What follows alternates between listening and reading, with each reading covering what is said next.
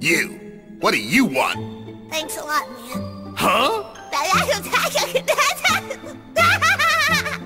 I think she's right. You are retarded. What I say?